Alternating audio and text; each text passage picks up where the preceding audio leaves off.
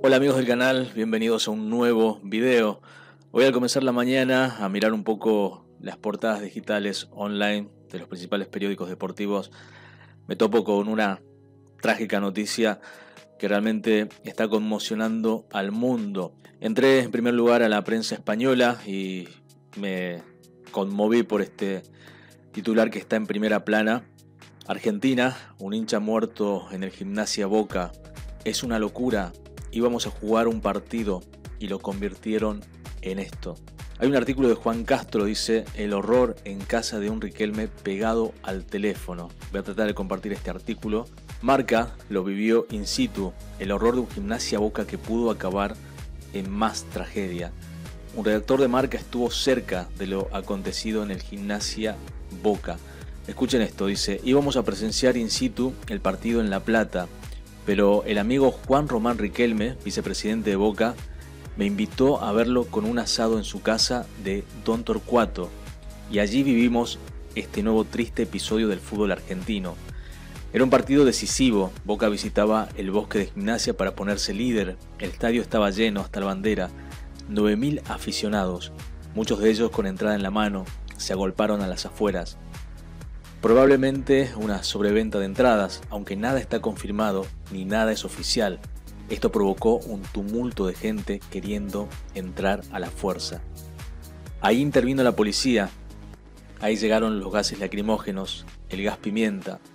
Entonces el gas fue de fuera hacia adentro del estadio. Se suspende el partido. Nadie podía respirar en el estadio. Los jugadores se meten en la caseta y los aficionados desesperados empiezan a huir del bosque por donde pueden, muchos de ellos llorando. Se fueron hacia el césped como forma de escapar de un ambiente impregnado de gas. Y ojo, todo esto sin presencia de un solo hincha de boca, pues en la Liga Argentina aún está prohibida la presencia de hinchas visitantes. Por tanto, fue un incidente que esta vez no se produjo por enfrentamiento entre dos aficiones.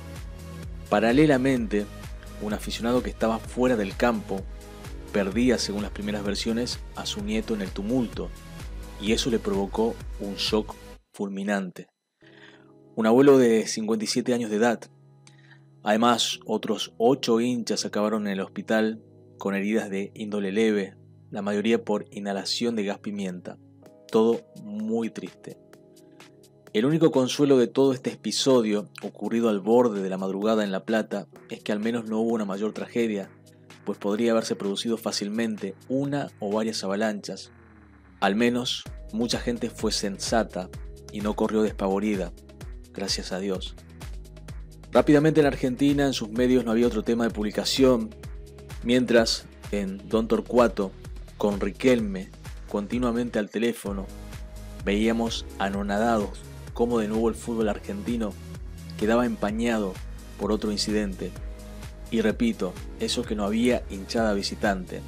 El partido, por cierto, se jugará probablemente a puerta cerrada en dos semanas, en el hueco que había para jugar la semifinal de la Copa Argentina entre Boca y Patronato, aplazándose esta hasta el final del torneo. Y la cancha de gimnasia corre serio peligro de ser cerrada algunos partidos por posible sobreventa de entradas. La crónica, la crónica de un redactor de marca del periódico español que estuvo ahí en el gimnasia Boca, al lado de Riquelme. Vamos a compartir también cómo el canal de noticias oficial de la televisión española abría su sección de deportes hoy a la mañana con esta triste noticia. Enseguida les contaremos esas victorias de los equipos españoles en Europa, pero antes nos llega una noticia de última hora desde Argentina. El partido entre Boca Juniors y Gimnasia ha sido suspendido por graves incidentes fuera del estadio. Hay decenas de heridos, pero Marcos Fernández, lamentablemente ya podemos decir que hay un fallecido. Sí, Carola, es oficial. Hay un fallecido por un accidente cardiorrespiratorio. El partido se detenía en el minuto 9 a causa del humo por el gas lanzado por los policías a las afueras del estadio. Según el ministro de Seguridad argentino Sergio Berni, esto ha ocurrido porque el equipo local ha vendido más entradas de las permitidas y algunos de los socios de gimnasia no podían entrar al estadio. Esos socios fueron los que hicieron la revuelta con decenas de heridos. Ya ha habido algunas reacciones como la de la Federación Argentina lamentando todo lo ocurrido.